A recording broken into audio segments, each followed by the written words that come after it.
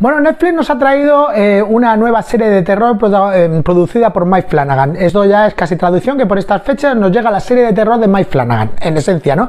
En esta ocasión nos trae una adaptación de una novela juvenil de Christopher Pike que está tremendamente bien, la novela. La serie también está bien, no tan bien como la novela, pero está bastante bien. De hecho, me ha gustado mucho. Son 10 episodios que se puede hacer un poquito largo porque hay momentos donde todo gira una vez y otra, repetir los mismos, mm, los mismos patrones una vez y otra otra, ¿no?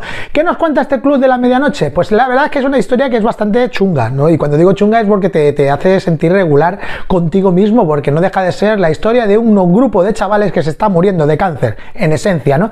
Es un sitio de centros paliativos donde van los chavales jóvenes de 18, 19 años a morir, básicamente, ¿no? Y allí llega una chica que ha pedido eh, ir allí voluntariamente porque eh, eh, ha investigado y ha visto que una, una paciente de la que estuvo allí recluida en los años 60, pues se curó milagrosamente sin saber muy bien por qué. Y ella piensa que tiene que ver con algo que ocurre en ese sitio, ¿no? De que es el sitio, es, tiene una, cierta de, pues digamos, eh, pues poderes o lo que sea, para que hace que aquello funcione y se cure en la gente, en esencia, ¿no?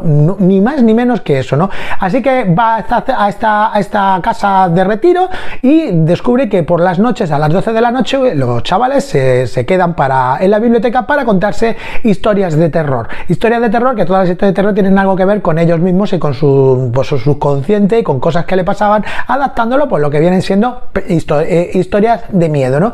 Entonces los episodios tienen diferentes puntos. Durante 20-30 minutos del episodio nos cuentan pues cosas que les están ocurriendo a los personajes en esencia que hace que la, la trama avance, sobre todo sobre el misterio que rodea a la casa y después tenemos las historias semanal, la historia del, programa, ¿no? Pues, como aquí no han lanzado la serie de un tirón, pues sería la historia de la semana contada por por el chaval de la semana, ¿no? Pero como la vez de un tirón, pues prácticamente pues son una asociación de historias de terror.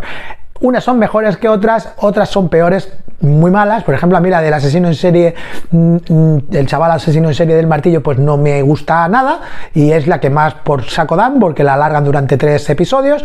Y es personalmente la que menos me gusta, pero hay algunas tremendamente buenas. De hecho, la, de, la de la carretera sin fin, esa me parece extraordinaria.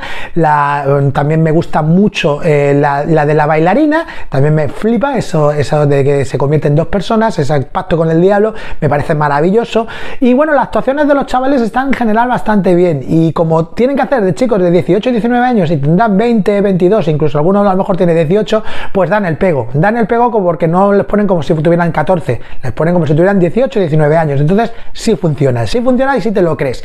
¿Te crees que esta gente pues tengan, pues esa, sean adolescentes recién terminado la adolescencia, a punto de entrar en la edad adulta, ¿no? En esencia, ¿no? Y funciona muy bien. Los actores están bien, el la, la, actriz protagonista pues lleva el peso de la, de la película, la lleva en bajo sus hombros y lo lleva bastante bien para ser tan joven y mm, todo nos deja pues eso que vas descubriendo pequeñas, pequeñas pistitas que vas descubriendo una cosa y otra y otra hasta llegar al, al final de temporada donde eh, te lo dejan todo mm, cerrado en apariencia pero también con una pequeña clavija abierta, una puertecita abierta para que puedas meterte allí y tener una segunda temporada. Segunda temporada que dudo mucho que vayan a hacer porque la primera temporada está siendo un relativo fracaso. No, está hablándose mucho de ella en redes sociales y además eh, los visionados tampoco que hayan sido espectaculares para Netflix. Sin embargo, yo te la voy a recomendar. Te voy a recomendar porque es una serie de adolescentes diferente, es una serie de terror que en algunos momentos da bastante susto. Mike Flanagan sabe dar sustos, es así,